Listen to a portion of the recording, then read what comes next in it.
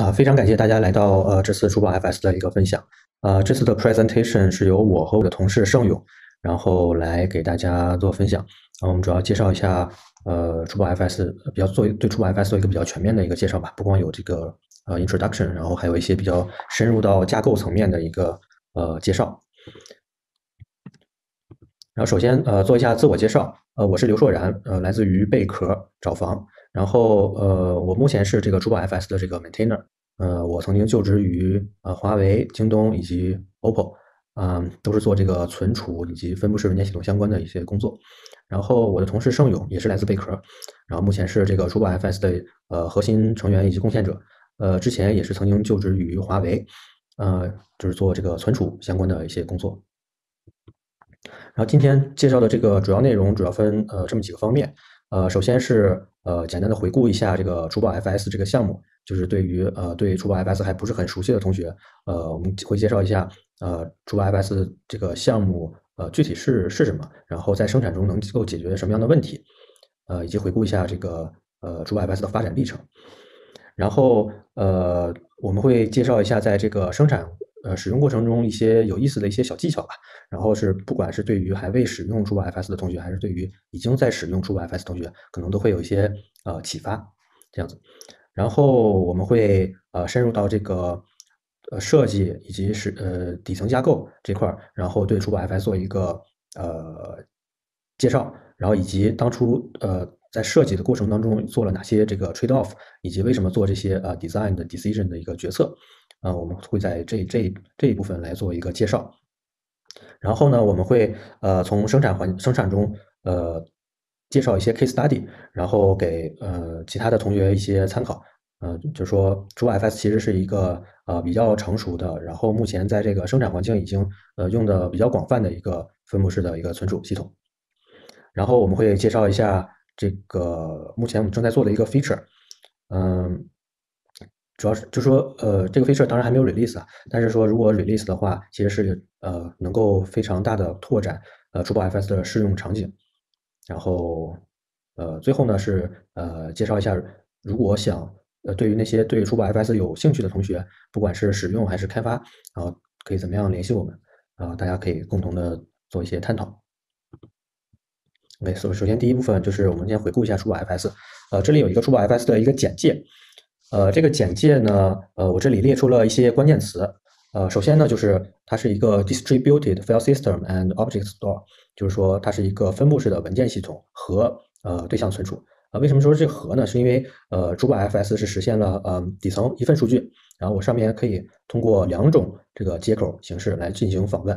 也就是说，呃，你通过文件系统接口写入写入的数据，呃，也可以通过这个对象存储接口 S3 接口。然后去访问，然后通过 S3 接口写入的数据，然后是可以通过这个呃文件系统接口来进行访问的。就是说，然后这样的话就给了这个业务方很大的一个选择空间，可以根据自己不同的业务特点，然后选择适合的一个接口去做呃这个访问。然后第二个关键词就是 large scale，呃，这个是什么意思？就是就是就是那个珠宝 FS 的一个定位，就是因为它当初从设计开始的一个定位就是，嗯，为了大规模的这个容器集群呃服务的。呃，也就是说，嗯，所有的这种在就是说跑在大规模容器集群里面的应用，呃，它需要呃有存储的一个解决方案。然后珠宝 FS 其实是为他们来做这个服务的。然后因为有这个 large scale 的这个定位呢，所以说后面的很多设计的一个决策都是围绕这个大规模来做的。比如说，呃，我会需要呃 scalability 啊，然后嗯，包括这个多租户，其实也是因为呃。珠宝 FS 比较适合的场景就是说底底层是一个大的一个集群，然后上面通过多租户的方式，然后给不同的业务方来进行使用。就说后面的话，呃，我的同事盛勇，呃，会对这方面就是很多这个呃设计的决策是怎么做出来的，然后做一个介绍。然后一个关键词就是这个 General Purpose Storage，就说珠宝 FS 它其实呃，因为它是为这个大规模这个容器平台呃服务的，然后这里面的应用呃肯定是。嗯，就是五花八门吧，就是它的需求也是五花八门的，不光需要不光有大文件的顺序读顺序写，随机读随机写，然后呃还有很多小文件的场景，所以说它就是说呃珠宝 FS 其实是作为一个通用的这个存储来设计的，不不是为了单独某一个不不是为了单独某一个某一种场景来设计的。然后，但是呃，这就牵扯到下面一个特点，就是 optimized for small files。就是我们知道这个，嗯，对于分布式存储来说，呃，大文件的这个顺序读写其实是一个呃相当于基本分数，就说，嗯，这一块大家做的其实都是不错的。然后，但是呢，小文件的处理其实是一个难点。然后，初步 FS 在这方面做了很多的一个工作以及优化。然后使得初步 FS 能够支撑海量小文件的一个场景，但其实初步 FS 并不是为了小文件而设计的，就它本质上是一个 general purpose storage。然后最后一个这个关键词我这边列的是，就是要呃 withstand traffic peak，就是要应对这个流量洪峰。因为这个初步 FS 其实它是脱胎于这个京东商城的，就说天然就带了这么一个属性，要能够应对这个突发的一个大大的这个流量，就是比如说在。呃，每年两次的这个大促的时候，呃，你要是你要能够这个应对这个突发的流量洪峰，然后怎么做到这个呢？其实这也跟这个之前的这个 large scale 是有关系的，就是说这背后的这个逻辑其实都是一脉相承的。什么意思呢？就是说，嗯，就举个例子，比如说你现在有一桶水，然后你即使比如说呃往里倒一一碗水，呃，都可能会引起比较大的一个波动。但是呢，当你呃现在有一个池塘的水。你即使往里去倒一桶水，可能也掀不起什么波澜。然后要呃，这就是那个，其实就是呃，珠宝 FS 的一个设计哲学吧，就是也算，呃，就是要做到这一点是必须，首先要 large scale 一定要有，另外一个就是要做到这个 scale 呃 scalability，就是说呃这个集群整体的这个性能的上限是要能够随着这个节点数的增加而做这而线性增长的。只有只有能够达到这两点的话，才能够做到。比如说我刚才说的，你有一个池塘的水，然后你倒进去一桶水都显不出来什么波澜，就就是嗯，就是一个比喻吧，这样。然后我们来回顾一下，就是珠宝 FS 的一个发展的这个呃历程。就这个项目其实从呃二零一七年年初就开始启动了，然后一直到这个二零一八年的六月份。才第一次在京东呃生产环境上去应用，所以其实大家可以看到，其实还是呃做了很长的一个时间，然后就是做了一个比较精细的一个呃设计也好，然后规划也好，包括实现上面都是做的比较细致的。然后在这个二零一九年的三月份，然后我们把这个初步 FS 开源到了 GitHub 上面，然后在四月份的时候就 release 了这个一点零的一个版本，然后这个版本主要还是集中在这个分布式文件系统这一块，然后支持。呃，顺序读、顺序写大文件的这个大小文件都都都是呃处理的比较好的，就这个一点零的一个版本。然后在六月份的时候是呃，我们是给这个 CNCF 的这个 Storage SIG 做了一个技术的一个 presentation，就是我们希望是能够把这个珠宝 FS 捐赠给 CNCF 作为一个 sandbox 的项目。然后所以在这个六月份的时候是做了一个技术的这个分享。然后并且在六月份的时候，我们也有了第一个这个呃 Web 的用户。然后在这个二零一九年七月份的时候，呃，就基于珠宝 FS 做的呃写的一篇 paper，呃，是发表在这个 Sigmode 上面，呃，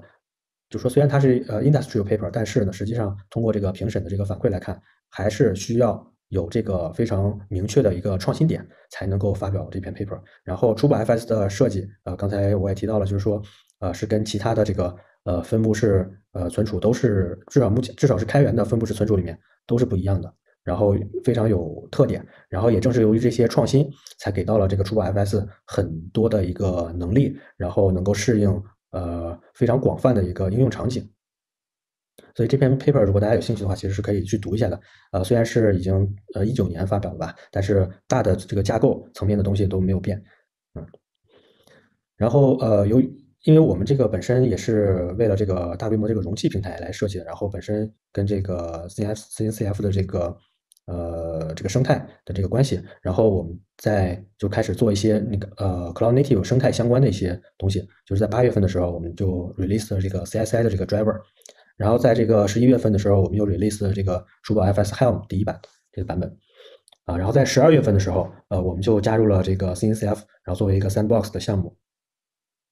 然后在这个二零二零年四月份的时候，呃，发又发布了一个比较大的 重要的一个大版本，就是二点零这个版本。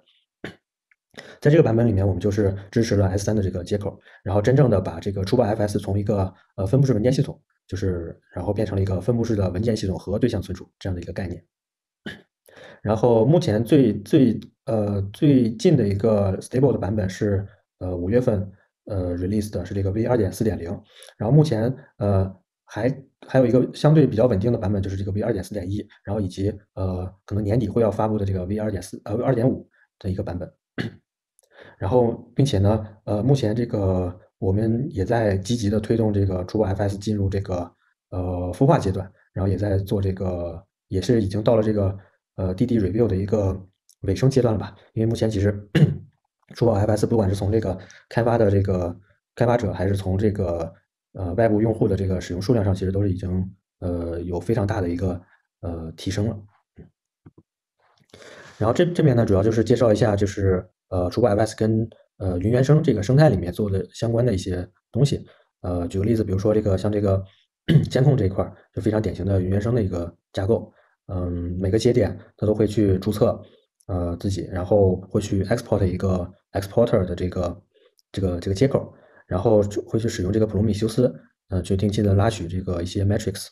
然后展示的话就是通过这个 Grafana 来进行一个展示，这是一个比较典型的一个原生的用普罗米修斯的一个呃架构吧，算是。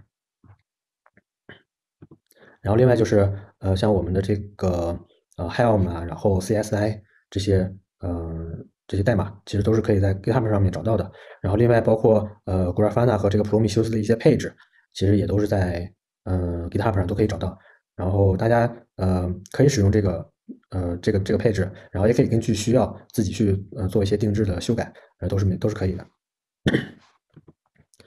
然后下面我们就简单介绍一下，就是呃储宝 FS 的一些呃有意思的一些呃小技巧吧。啊不，这就是如果对于那个还没有接触初宝 FS，大家可能会问，嗯，这初宝 FS 到底是个什么样子的呢？到底是怎么使用的呢？嗯，然后对于呃大家如如果只是想简单的去呃了解一下或者去做个 demo 的话，我们是提供了这个单机版的这个 Docker Compose 的一个部署的方案，就可以看到就是我们可以通过这个 Docker 目录下面的这个 run docker dot sh，然后直接去呃 启动一个容器集呃启动一个集群。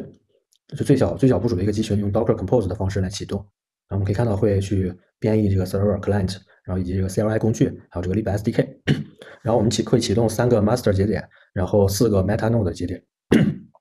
以及四个 Data Node 节点，这都是呃相当于最小化的部署吧。并且我们也会启动这个 Console 啊、Grafana、普罗米修斯这些节点。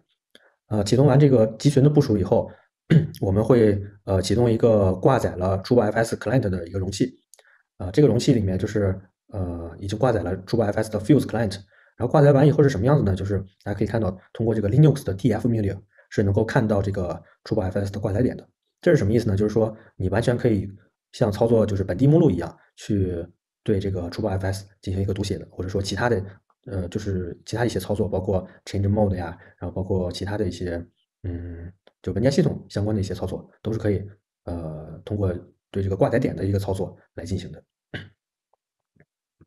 然后我们刚才说，初宝 FS 它是呃一个分布式文件系统和对象存储，然后这里面就有一个呃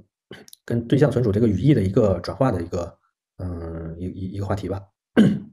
然后初宝 FS 这边的这个 cluster name 其实可以对应到这个对象存储里面这个 region，然后这边的这个 volume 就可以对应到这个对象存储里面的 bucket，然后这边的一个目录加文件其实就是对应到这个某一个对象，然后我们可以看到。呃，右边这张图，比如说我现在跟目录下面有 A 这个目录，然后 B 点 text，那么你通过这个呃，然后这个 volume 呢是新建好的一个 volume 叫 example，那么如果通过 S3 接口访问的话，那就是相当于是访问 example 这个 bucket，然后这个 A 呃 slash B dot txt 这个 object，这样这是一个呃语义上面的一个 matchup，然后嗯。什么意思呢？就是说，本质上，初宝 FS 还底层还是一个呃文件系统，然后只不过上面会暴露出这个 S3 的一个接口。这样做呃有好处也有劣势吧。好处就是说，它的元数据操作的这个 overhead 非常的小。呃，因为我们知道这个对象存储的这个，比如说做一个目录其实开销还是蛮大的。但是 对于文件系统来说，这个目录的开销就非常小了，就只是动一下元数据就 OK。所以说，呃，优势就是这个元数据的这个开销非常小。然后劣势呢，就是说跟原生的这个 S3 的语义肯定会有一些出入。举个例子，就是说还是上面那个例子，就是呃，比如说你有 A slash b dot txt 这个 object 以后，那么在对象存储那边，其实它就是存了一个 key，再加一个 object。但在储宝这边呢，其实它会有呃分分层了，也就是说它会有 a 这个目录，然后并且有 b 点 txt 这么一个文件。这样的话呢，如果你再想创建 a 这么一个对象的话，那是不能了，因为这个这个这个路径在我这边已经是一个嗯文件夹了。就这是跟那个原生的 S3 语义上的一些区别吧。啊，这边是一个，就比如说，呃，我们刚才看到通过文件系统接口，我们已经写入 这个 LTP test 这个 volume 的一个呃几个文件了。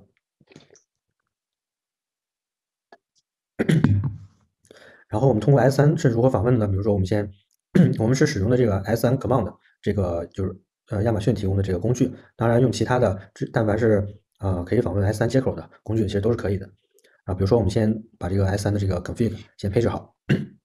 然后我们就可以用这个 S3 command 来去操作这个这个 bucket。比如说我们先 ls 一下这个 bucket，我们可以看到它就把这些 下面的这个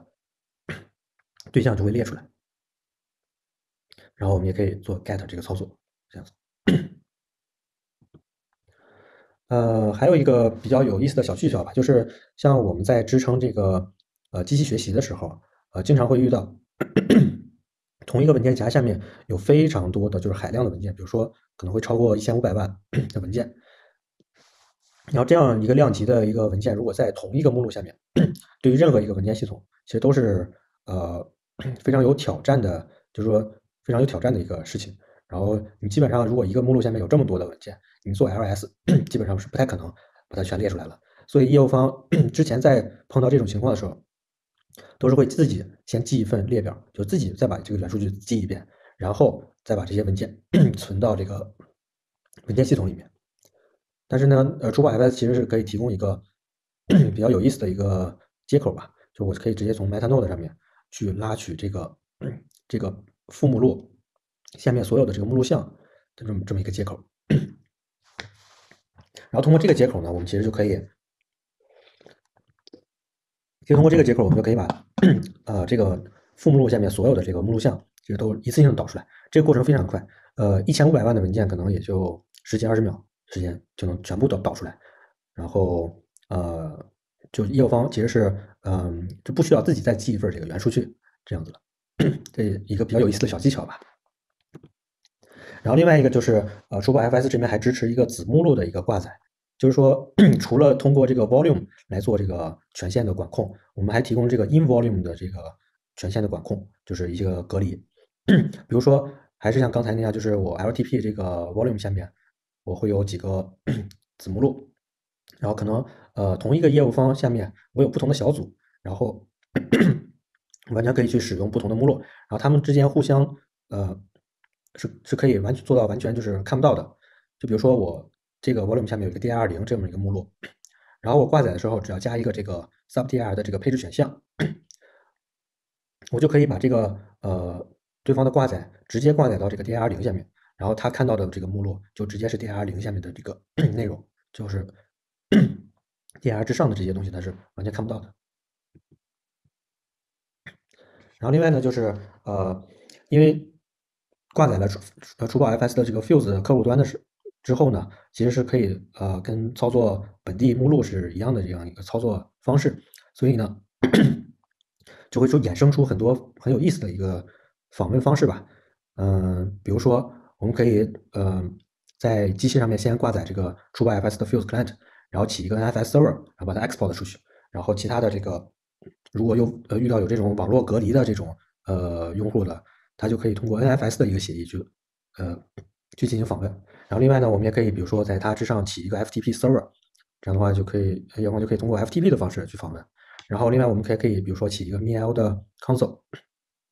就是用这个 NAS 的这个 mail 的，然后我们就可以通过网页的方式去进行访问，就是也是极大的丰富了这个 用户的一个访问吧。数宝 FS 在设计上做到了控制面和数据面分离。Resource Manager 主要是负责对整个系统元数据的管理和控制，而文件的元数据和数据则分布在 MetaNode 和 DataNode 上。MetaNode 会存储文件本身的元数据，比如像 inode 或者 Dentry 这样一些文件相关的信息。一个 MetaNode 是由多个 MetaPartition 组成，而每一个 MetaPartition 上边又会记录着呃很多文件元数据信息。在运行时，这些文件元数据信息都是直接缓存在内存内存中的。DataNode 则是存储文件数据，它也是由多个 Data Partition 组成，而每一个 Data Partition 中间也会呃包含着非常多的文件分片。控制面和数据面分离呃是有一些好处的，它可以让我们添加新的 Meta 或者是 DataNode 的时候变得更加的方便，而 Resource Manager 呢也不会成为文件操作的瓶颈。Volume 在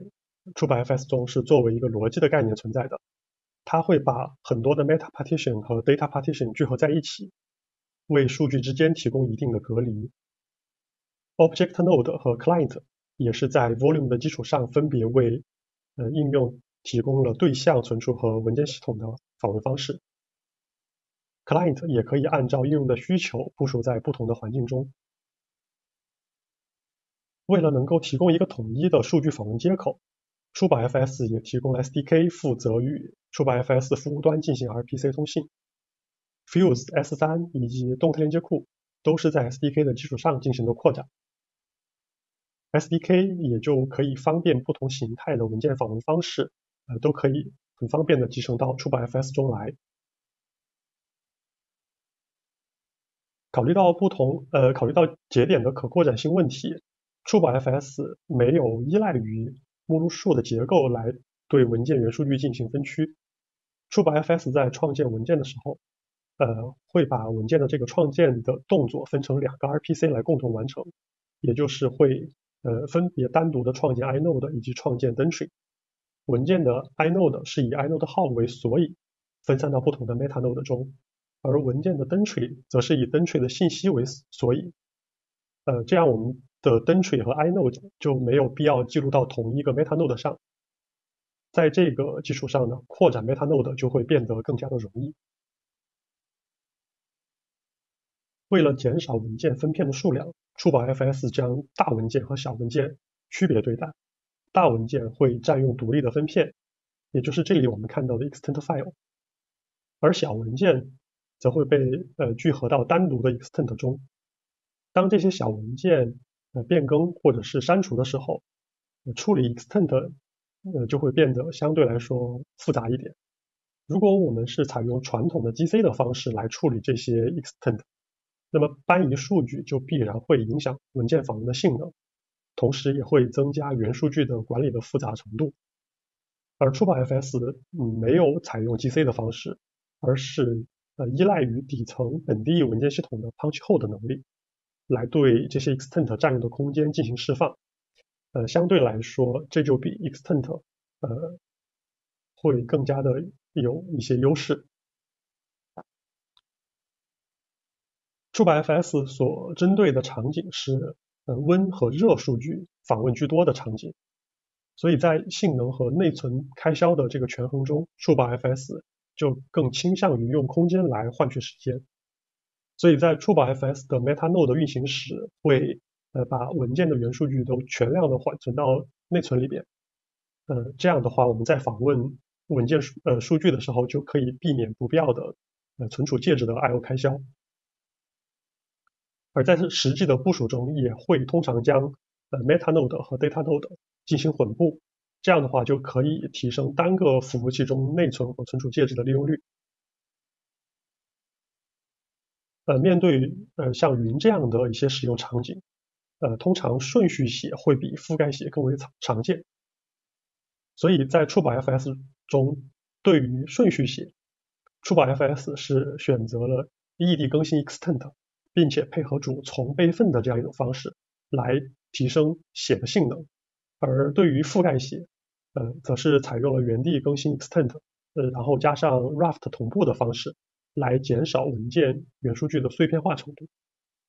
呃，虽然 Raft 同步的开销会呃更大一些，但是呃在这种顺序写多于覆盖写的前提下，那么触宝 FS 在设计的时候也是做了一些取舍，呃，就是舍弃了覆盖写的覆盖写时候的一些性能，呃，选择原数据的可维护性。在文件数据的可用性和一致性方面，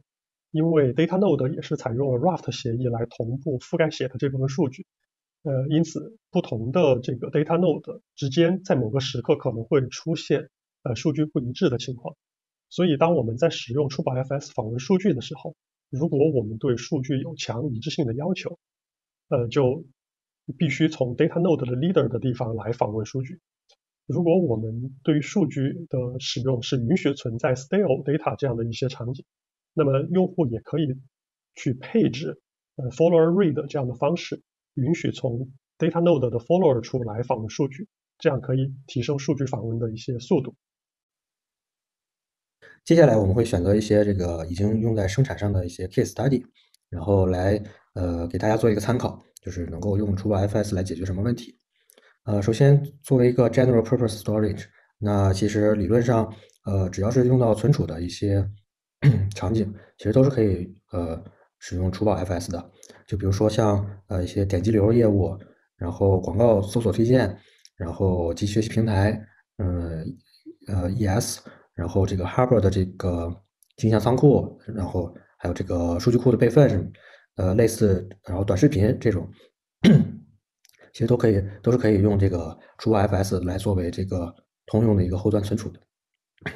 然后我这边重点想，呃，这回介绍的一个案例是来自于网易，然后也非常感谢网易的这个同学提供了这个 case study 以及这个生产上面的最佳实践。就是说他们是会把这个 TrueFS 作为呃 Elasticsearch 的一个后端存储，然后直接去使用，就是说。嗯，这样呢，呃，首先他们是做了一个这个冷热 ES 节点的一个分离，然后热的这个 ES 节点是使用本地的这个 SSD 四盘，然后因为有很大的这个 I/O 写入压力，然后所以会呃使用这个 SSD 四盘，然后另外呢，就是他们的冷的这个 ES 节点就会用这个初步 FS 作为直接作为这个后端存储，然后初步 FS 这个集群部署的时候呢，是用的这个 HDD 的磁盘。这样做有个好处，就是说，呃，可以做到这个冷冷节点的这个 ES 节点的这个存储与计算分离，呃，因为我们知道这个冷冷的这个 ES 实例其实并不需要占用太多的这个计算资源，所以呢，嗯，他们在呃这个设计这个架构的时候，就会把冷的这个 ES 实例直接部署在 TrueFS 的 Data Node 上面，就是说给 Data Node 首先要预留出相应的资源，然后会把 ES 的实例。部署在这个 Data Node 上面，然后另外呢，就是，嗯，剩下如果还有需要部署这个 ES 冷节点实例的话，他们会部署在这种呃刀片服务器上，然后 充分利用一下这个 CPU 和这个内存，然后存储呢就完全由这个 TrueFS 来统一进行管理。然后冷节点做呃使用 TrueFS 呢，还有一个好处呢，就是说有非常好的呃这个故障迁移的这个能力。呃，比如说实例挂掉了，然后直接呃在呃一个节点呃启动这个实例呃就 OK 了，不需要做这个数据的一个迁移。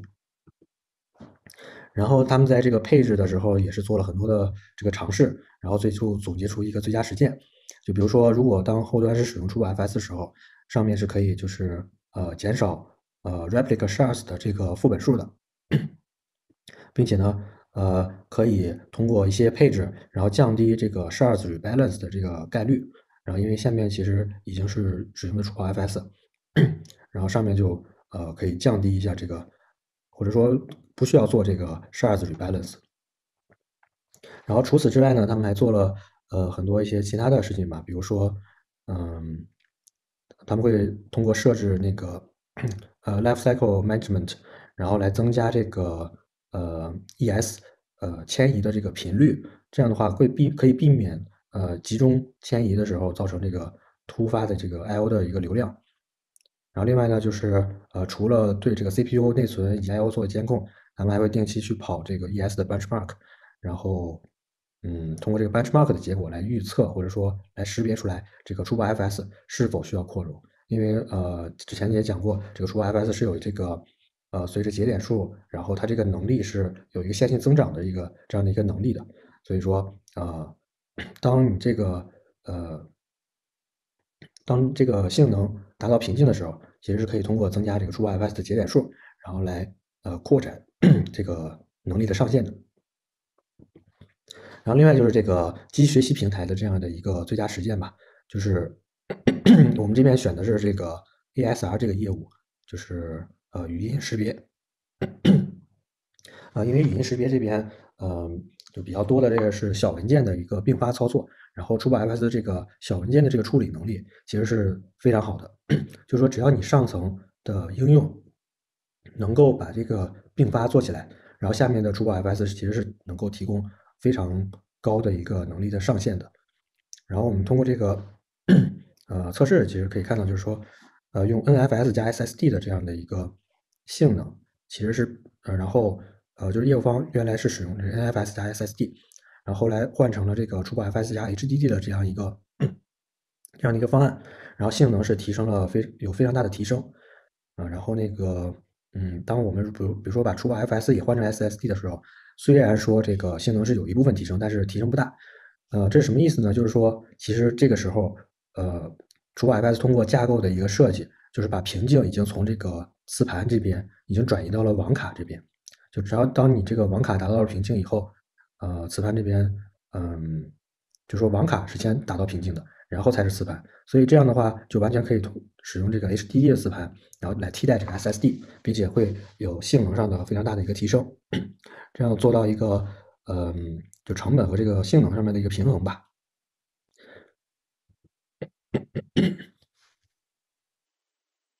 随着触宝 FS 在不同场景中的应用。我们也希望触宝 FS 能成为更多场景的一些选择。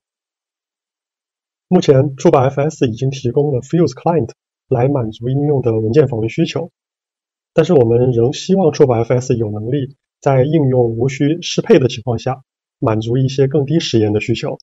所以，我们为触宝 FS 增加了绕过 Fuse 或者是绕过 Kernel 的能力。在 Linux 中，Linux 的动态链接器呃提供了 Preload 的机制。它允许我们在呃执行 elf 文件之前，来指定自定义的一些动态链接库，呃这些 preload 的库会优先于其他库进行加载。我们如果在 preload 库中重新实现了 POSIX 的接口函数，那么在运行时就会覆盖标准库中的函数。呃如果我们实现了呃文件操作的这些接口，那么在运行时就可以绕过 fuse 和系统调用。呃，来去直接和出版 FS 进行呃数据的访问。呃，为了实现文件操作，我们就需要在 Preload 库中提供对文件描述符表的一个管理。文件描述符表是呃是需要去记录虚拟文件描述符和真实文件描述符的映射关系。虚拟文件描述符主要是用在呃应用和 Preload 库的交互中，而真实文件描述符主要是用在呃，preload 库和真实文件系统的交互中，呃，同时我们在这个文件描述符表里边也是需要去标识每一个文件描述符它是否是属于触保 FS。在 preload 库的初始化阶段，我们就需要去准备好这个文件描述符表，呃，并且因为呃应用它会有一些已经打开的文件，所以我们也需要对这些已经打开的文件去做一个一一的映射。在文件操作的时候，我们会将文件的路径和触保 FS 的挂载点路径进行一个比较，呃，从而来判断这个文件是否是属于触保 FS。根据这个判断，呃，我们就可以调用相应的接口来获得这个文件的真实的文件描述符，并且在呃我们提供的文件描述符表里面进行一个映射，从而得到一个虚拟文件描述符，并且把这个虚拟的文件描述符返回给应用。在这之后，呃，应用就可以直接用这个虚拟的文件描述符来调用我们 preload 库中呃实现的这些文件接口，来去选择呃合适的接口进行文件的操作。呃，接下来就是如何联系我们。嗯，其实是有几种方式。嗯，首先肯定是 GitHub 上面提 issue，然后我们会定期去处理这个 issue。然后，如果大家有好的建议或者有任何疑问，都可以通过在这个 GitHub 上面提 issue 的方式来去呃去联系我们。然后另外呢，呃更直接的一个方式就是呃 CNCF 官方的这个 Slack 呃 Work Slack 这个 Space，然后里面有珠宝 FS 呃专属的 channel，然后也可以大家通过加入到这个 channel 里面，然后跟我们有一个更直接的一个交流。然后另外就是呃在中国的这个小伙伴，其实可以加入到呃我们有一个珠宝 FS 的微信群，然后也可以加入到这个微信群里面，呃跟我们做一个交流。然后最后呃非常感谢大家的这个聆听啊，感谢大家。